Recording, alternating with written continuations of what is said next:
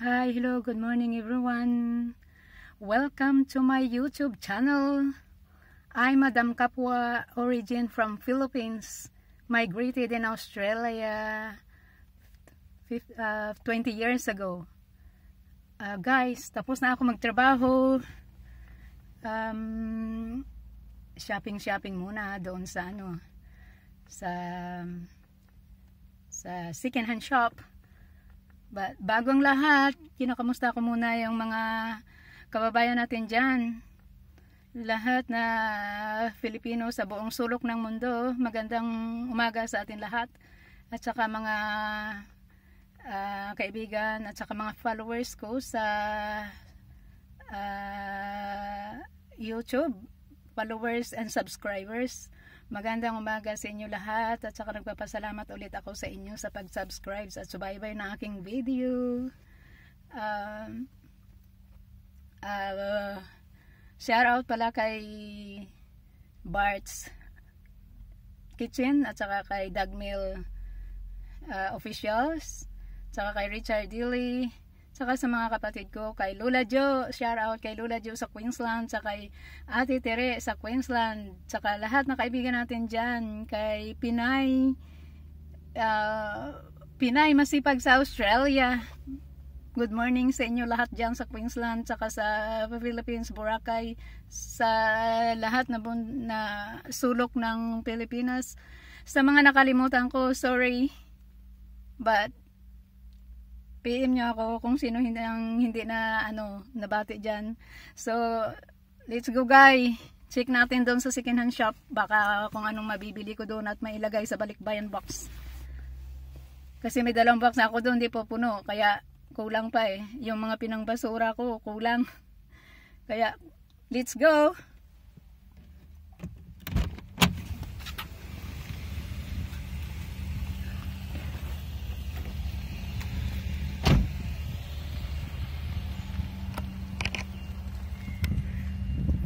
Guys. Yung shop na ano binibila natin ng medyo mura. Tapunan yan dito eh kaya mura yung binta nila. Sige check natin.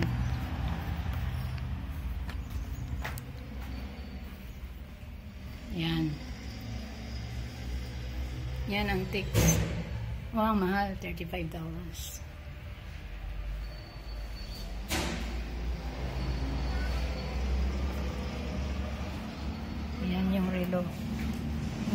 relo nila. Pero hindi ko kasi alam mag ano eh.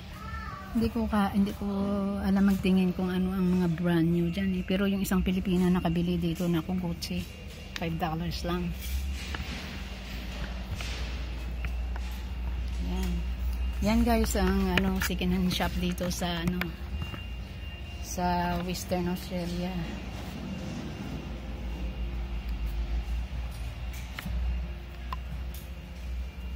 Yan, dito tayo sa ano sa mga ano ba dito? Yung mga kitchenware. Yan, mga books. Ah, DVD pala. Yan yung mga pangtrabaho. Mga uniform sa ano yata to eh, sa factory, sa mining. Yan, ito yung mga gowns, guys. Kung sino mga tagaruwas dyan, kung sinong gusto mag, ano, magkaroon ng higher, ano, higher gowns, um, wedding gowns. Yan, oh, gaganda. Oh, PM ako tagaruhas kung sinong gusto mag, uh, magkaroon ng higher, magre-rent ng mga gown. Ayan guys, pakita ko sa inyo ang gaganda ng mga gown, mura lang. Ito, pag binili mo to sa ano eh sa internet ano eh. Yan, mga 4,000 dollars. Dito kaano benta nila oh? Ano lang? 1,000 piso. Yan guys oh ang ganda. Ito oh ang dami. Yan magkano yan? 500 dollars daw. No, ngayon lang nagtaas dito pero may mabibili ka lang man dito ng mga tag 2 dollars eh marami nang akong naipon doon sa bahay Kaya i ano ko yun, ilagay ko yun sa balikbayan ng box guys, mga tagaruhas dyan. Kasi yung box kasi, kaya madalas ako nagbabanggit tagaruhas kasi yung box ko papuntang rohas yun. Yan. Dalawang box ko papuntang rohas. Kaya kung sino interesado dyan magkaroon ng um, rent ng gown, PM nyo ako ha sa inbox ko, Big Big Data. usap tayo kung gusto niyo mag ano bibilang kayo po dito tapos bilalagay ko sa balikbayan box. Marami naman ang laman ng isang balikbayan box eh. Siguro mga 10,000 piso lang naman yung ano yung pamasahe ng box. Yan mga sapatos nila. Mura lang guys mura lang yan dito second hand shop yan dito. Kaso nga lang uh, mga magaganda pa yung quality mga bago pa. Tingnan nyo oh. magkano lang to. Sa piso natin. 300 piso. Ito guys oh antiques. Pang parte. Oh, diba dito kasi ka, dito ako pumupunta ng ano eh pag kailangan may parte ako pupuntahan yan dito ka bibili ng mga mura lang mabibili mo lang ng 300 peso eh kung doon ka sa shop mahal. Tag ano doon eh mga 500 dollars 200 dollars. Yan guys oh. Boots. Boots na leader mura lang siya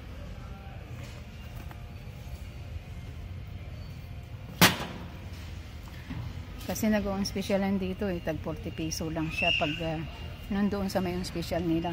Pakita ko sa inyo mamaya. Itong ganda naman ito oh.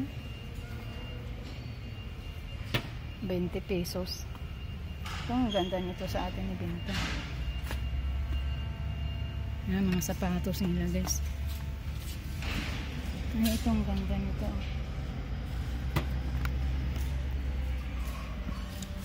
ayan yung mga pangbata nila mura lang.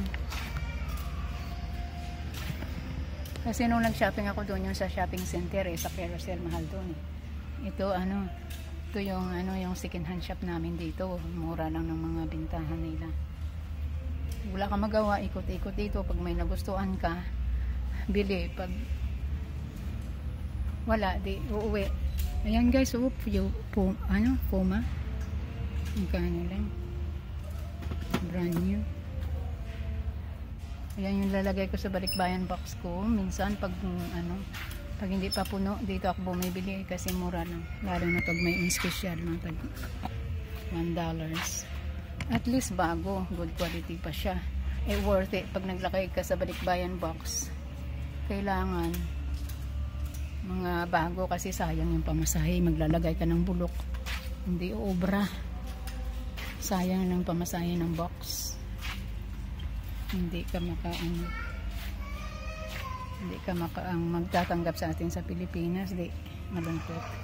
Yan mga belt nila guys mura lang mga leather yan punuin ko kasi yung box ko. Ito talaga leather tagbo 1 dollar 40 piso yan ang ganda ng ano nila yan mga kortina guys oh.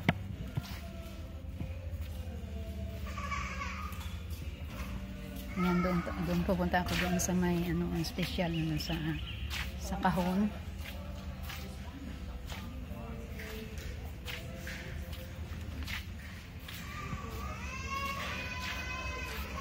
Ay hindi ganong marami ngayon guys but meron din.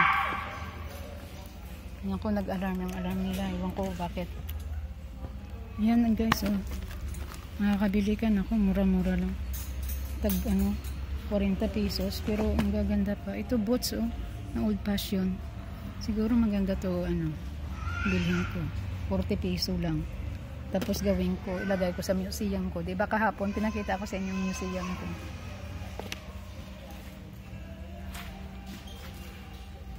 Dadagdagan ko yun magsusyo ako ulit doon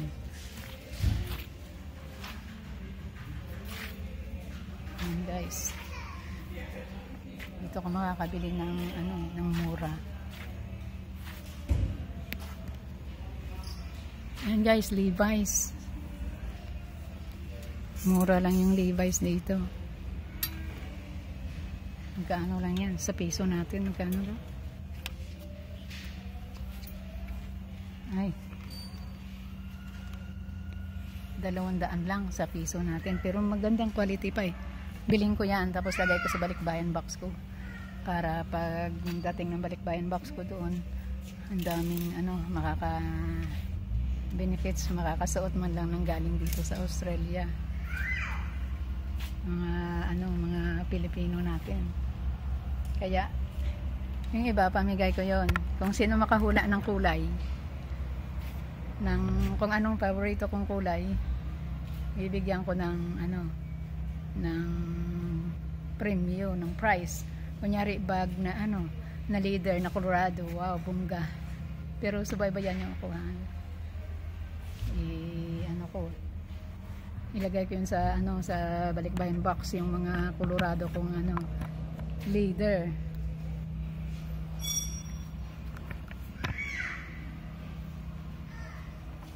ang ganda yan. Shopping shopping lang pag walang pag walang time. Kasi malapit yung trabaho ko dito eh.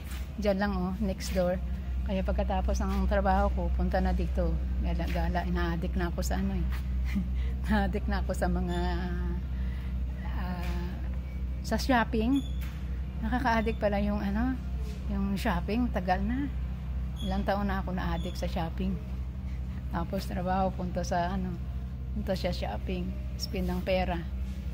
But din di ba maganda yan no? yung treatment sa ano sa sarili natin kasi puro na lang trabaho eh.